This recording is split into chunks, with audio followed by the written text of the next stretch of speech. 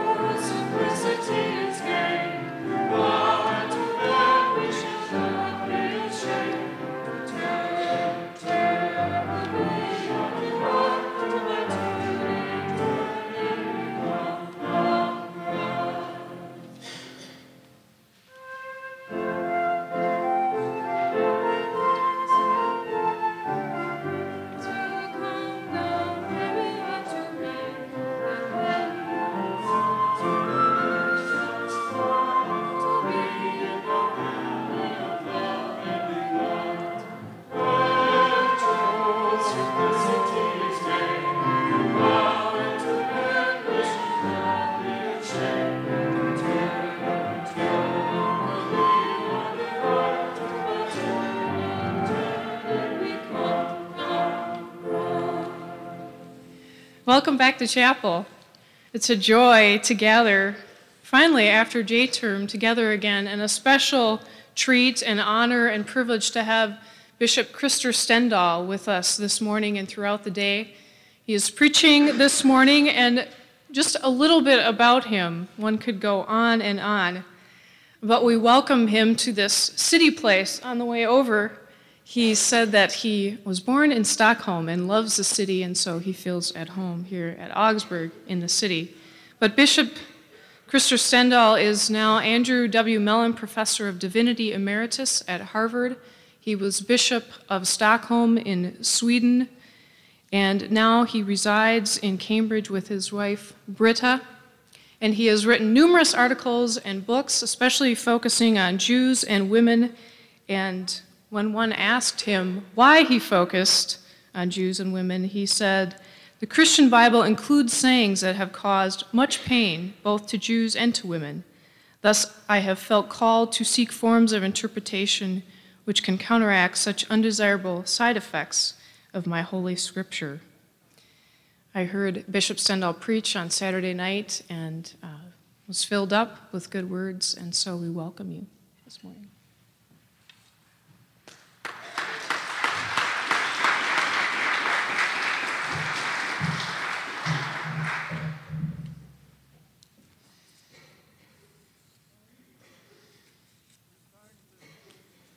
We sang this Shaker song because I want to speak about simplicity.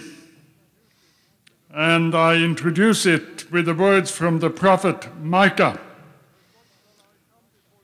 With what shall I come before the Lord, and how bow myself before God on high? Shall I become before him with burnt offerings, with calves a year old? Will the Lord be pleased with thousands of rams, with ten thousands of rivers of oil? Shall I give my firstborn for my transgression, the fruit of my body for the sin of my soul? He has showed you what is good. And what does the Lord require of you? But to do justice, love kindness, and walk humbly with your God. So said the prophet. And it sometimes happens when Christians listen to the Old Testament and to the prophets and to the straight talk about justice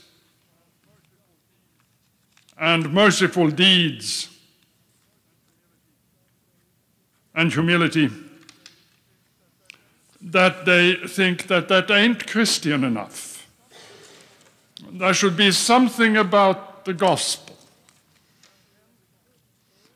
And hence, the history of the church shows that Christians have seldom been the pioneers for justice. It sounded a little too secular. We actually came up with an English word for the church equivalent, and we call it righteousness. You had righteousness in the church, and you had justice in the world. So we, we always defended us a against the straight talk of prophets like Micah.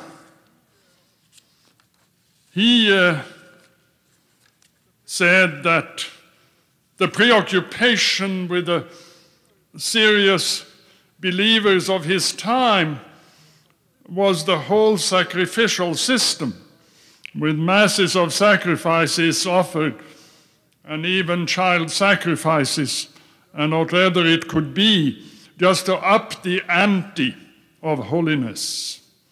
Just as Protestants up the ante when they hear this boilerplate language of Micah by saying there must also be something about the gospel, about forgiveness, about grace.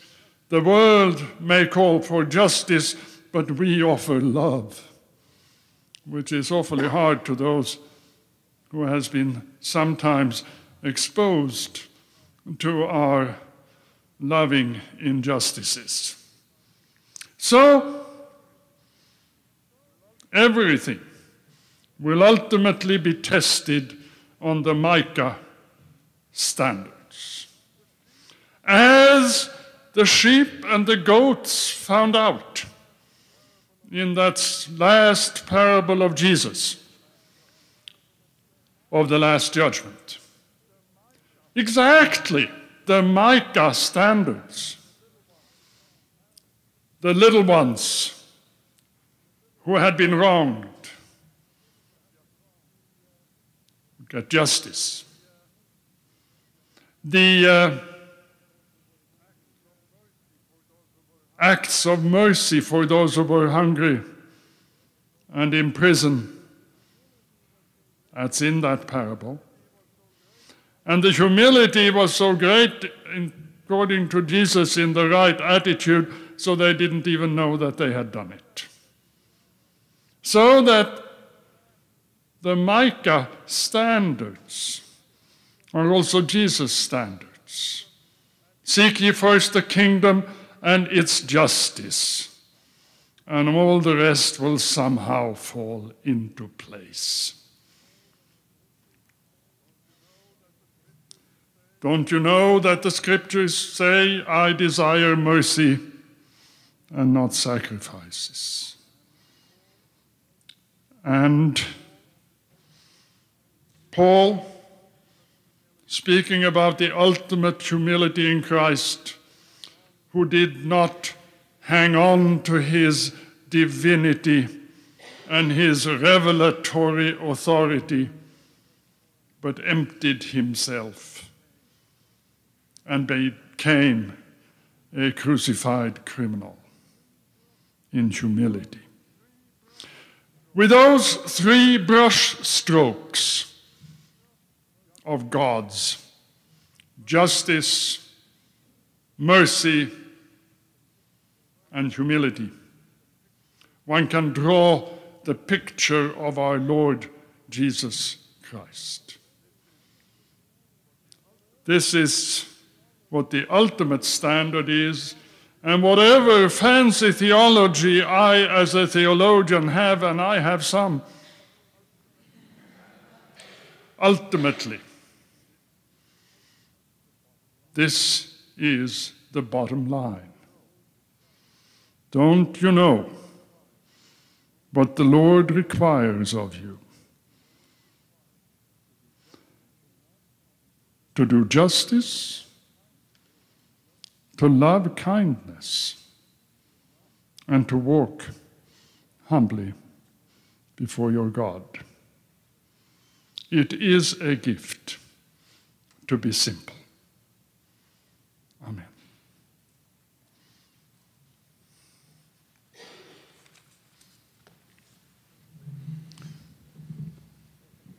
I'll make it. You can begin. Let us pray. Blessed is the earth, for all it contains is the work of your hands. Teach us to use its abundance wisely and respect every living creature it sustains with justice, mercy, and humility. Blessed are the sick and those who mourn, who look to you for comfort and healing. On this day, especially, we remember Josh Cagle and his family on the loss of his brother Chris. Help us respond to their needs, and especially Josh, with compassion and generosity. Blessed is this community of faith, created by word and spirit in holy baptism. Forgive us our sins and help us to live in simplicity and peace. In your name we pray. Amen. Dr. Stendahl will be pronouncing the benediction, so I'm going to give the announcements at this point. I want to remind you that if you would, if you are free during the 11 o'clock hour, Dr. Stendahl will be in the Paul the Apostle class that today will be held in Sateren Auditorium. That's at 11 o'clock, so you are all invited to come there. We welcome you back, as Sonia has already done, but we also welcome someone new to our midst who's going to be giving us a, a boost in uh, campus ministry and church relations, and that's Jim Peterson, who is an old friend. Well, he's a young friend, but an old time friend. Uh, who, who has uh, an illustrious career. He established the Lutheran Center in Mexico City and uh, has done some rather significant things in liberation theology, et cetera, down there. And uh, was with the church headquarters and doing some great pastoring prior to that, but an Augsburg seminary grad and Augsburg college grad. So, Jim, do you want to stand? We'll welcome you to our midst.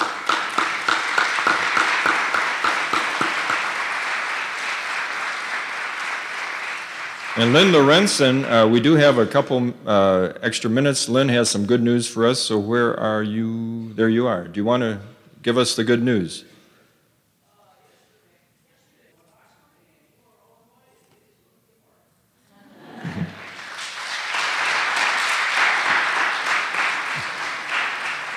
Probably a little Welsh hymn singing, Lynn.